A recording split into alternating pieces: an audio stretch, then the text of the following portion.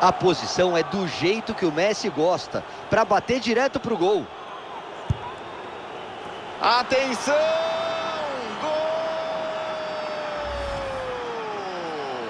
Linda cobrança, com.